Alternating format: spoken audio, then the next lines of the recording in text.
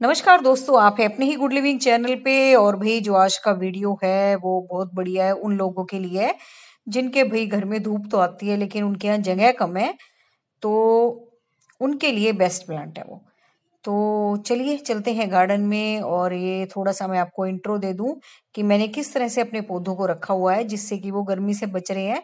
तो भाई, इस तरीके से स्मॉल स्मॉल पॉकेट्स बना के पौधों को इकट्ठा करके रख दो तो गर्मी से भी वो बचेंगे, अपने आप को खुद से वो मैनेज कर लेंगे। और दूसरा भी आपके लिए भी मैनेज करना आसान हो जाएगा, क्योंकि गर्मी का दिन लंबा होने के साथ साथ गर्मी से भरा हुआ भी होता है। तो आपके लिए भी लिमिटेड सा टाइम होता है सुबह और शाम का, जब आप पौधों को मैनेज कर सकते हो सारे। दिन भर तो इतनी गर्मी में आप काम नहीं कर सकते प्लांट्स के साथ। तो इस तरीके से रखने से ना उनको मैनेज करना आसान हो जाता है। तो ये है भाई आज का वीडियो का जो मेन सब्जेक्ट है, छोटे गमलों के लिए बेहतरीन पौधे, जो कि हमेशा आपके गार्डन में फूल देते रहेंगे। और दोस्तों, सबसे बड़ी बात, आपके गार्डन में फूल देने के साथ साथ ये छोटे गमलों में तो चलेंगे ही चलेंगे। दूसरा इनका एक और फ़ायदा है कि आप इनको किसी भी साइज़ के गमले में लगा दो छोटे छोटे डब्बों में तो बहुत जल्दी से ये पोट को कवर कर लेते हैं और बहुत जल्दी से इन पे फूल आने शुरू हो जाते हैं।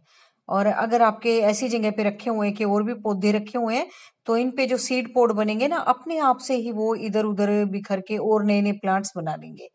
तो बहुत आराम से पौधे उग जाते हैं और दूसरा, अगर आप इनको कटिंग के ज़रिए भी लगाने चाहो तो आप इनको बड़े आराम से कटिंग से भी लगा सकते हो। ये देखो, मेरे पास तो खैर इसके अनगिनत प्लांट है, आगे पीछे सब जगह यही दिखेंगे।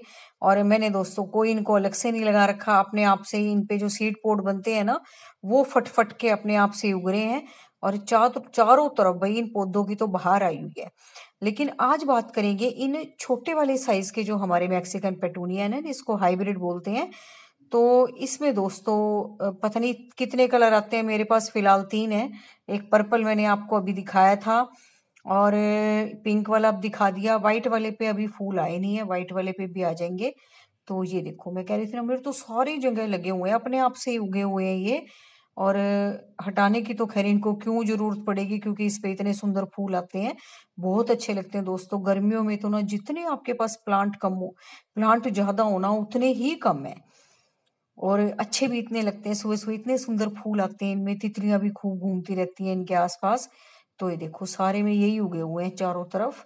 पीछे, आगे बड़े बड़े गमलों में भी उगे हुए हैं, जिनमें बड़े प्लांट लगे हुए हैं। तो मैं उसमें से भी नहीं हटाती, उसमें क्या है, देखो, एक तो मल्चिंग का काम करते हैं। और दूसरा, अगर आप किचन गार्डनिंग भी करते हो ना तो उसके लिए भी ये पोलिनेशन का काम करते हैं, क्योंकि पोलिनेटर्स जो है, वो इन फूलों वाले पौधों की तरफ़ अट्रैक्ट होंगे तो वो सब्जियों वाले या अपने फलों वाले पौधों पे भी बैठेंगे तो एक नेचुरल तरीका हो जाएगा सब्जियों को उगाने का। तो ये देखो, ये भी कितने अच्छे लग रहे हैं, ये देखो सारे में उगे हुए हैं ये। आप आप ही उगे हुए हैं, ये देखो बीज गिर गिर के ना, अपने आप से उगे हुए हैं, और ये देखो कितना अच्छी तरीके से, आपको गमला तो दिख ही नहीं रहा होगा कि लगे भी कहाँ हुए हैं। तो ये समझ लो कि छोटे छोटे डब्बों में भी ये इतने अच्छे चलते हैं। देखो छोटे छोटे डब्बों में लगे हुए हैं, ये बिल्कुल नीचे देखो, है ना? कैसे अपने आप से इन्होंने कवर कर रखा है, ये देखो ये देखो, है ना? इनकी एक एक कटिंग उगाई थी मैंने इसमें और ये देखो, सारे डब्बों को इन्होंने भरी लिया है। पता भी नहीं लग रहा कि वेस्ट वाले डब्बों में लगे हुए हैं। और जब फूल, अभी तो शुरुआत हुई है इनके फूलों के आने की, ये समझ लो। और जब इन पे खूब फूल आने लगेंगे ना, तब तो इतने सुंदर लगेंगे ये और डुआर्फ वाली वैरायटी तो दोस्तों आपको ज़रूर लगानी चाहिए, अगर आप छोटे छोटे डब्बों में उगा रहे हो इस तरीके से। और ये देखो, बिल्कुल छोटा सा गमला है ये, मैंने इसमें रोइयो की एक कटिंग भी लगा रखी है और साथ में वो भी चल रहे हैं। और ये देखो स्टैंड पे जो लगे हुए हैं, ये भी देखो कितने सुंदर लग रहे हैं, है ना? और मैंने इसको नहीं उगाया, अपने आप से उगे हैं ये। तो ये देख लो भाई। और नहीं तो दूसरा तरीका मैंने बता ही दिया, अगर आपको ये कहीं दिखते हैं, उसकी कटिंग काट लाओ और फिर अपना उगा दो। और यहाँ जो सारे लगे हुए हैं, इसमें ड्वार्फ वैरायटी भी है और सिंपल वाली वैरायटी भी है जो ऊपर जाती है ना, और ड्वार्फ वैरायटी जो नीचे नीचे रहती है। देखो, इसमें सारे मिक्स होके लगे हुए हैं। ये देखो, और अब तैयार हो गए हैं ये, क्योंकि नए नए प्लांट्स हैं, सारे नए नए तैयार हुए हुए हैं। तो बस अब इन पे फूल आने देखो, शुरू ही हुए हैं। अभी कुछ ही दिन से फूल आ रहे हैं इनमें तो फिर मुझे लगा के इस पौधे के बारे में डिस्कस करना चाहिए कि अब तक किसी के पास ना हो ये।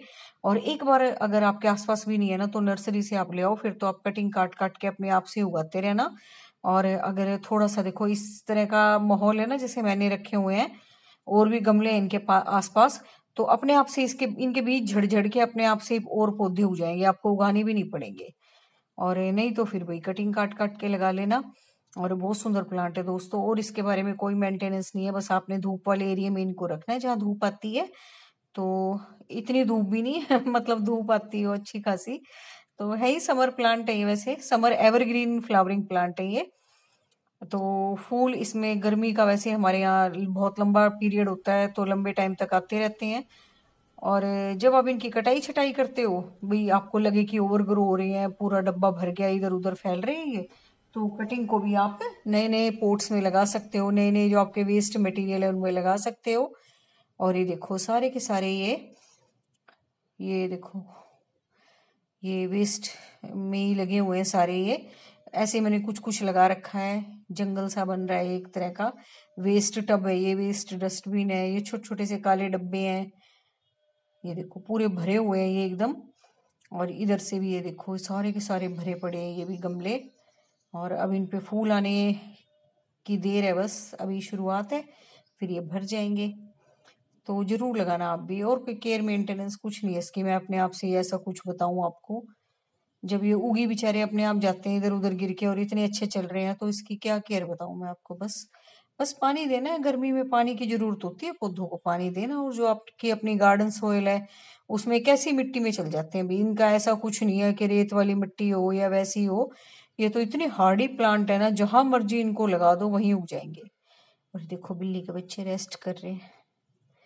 ये देखो। दो गमले की मिट्टी वो होती है ना गिल्ली गिल्ली और ऊपर से मैंने एस्पेरेगस की जब कटाई की थी ना, घास बिछा रखी है, इनकी ना मल्चिंग के लिए बड़े गमलों में। तो बस ये इनका बेड सा बन रहा है एक तरीके से। और देखो कैसे सो रहे हैं ना। इनको अच्छा लग रहा है यहाँ पे ठंडी ठंडी घास में। क्यों गिल्ला सा भी नहीं लगता क्योंकि वो घास है और वैसे भी मॉइस्चर है तो ठंडक सी भी रहती है थोड़ी। तो उम्मीद है आपको वीडियो अच्छा लगा होगा। अगर आपके पास नहीं है तो भैया आप ज़रूर लगाओगे लगा के देखना। इतने सुंदर प्लांट है। देखा ना आपने कितने अच्छे लग रहे थे, है ना? कितनी कितनी हरियाली वाले पौधे और ऊपर से फूल भी आते हैं इनपे। तो और जिसके पास है ना भी कमेंट करके ज़रूर बताना कि आपको कितने अच्छे लगते हैं पौधे। और आपके गार्डन में भी, अगर मेरे गार्डन में इतने फैल रहे हैं तो जिसने लगा रखे होंगे ना, उसके गार्डन में भी ऐसे ही फैल रहे होंगे। तो कमेंट करके ज़रूर बताना कि आपको कितने अच्छे लगते हैं प्लांट मैक्सिकन पेटूनिया के। तो बस चलते हैं और भी छोटे छोटे फूल दिखाती चलती हूँ आपको। बेबी सनरोज के, देखो कितने अच्छे लग रहे हैं ना। है छोटे पर है प्यारे प्यारे से।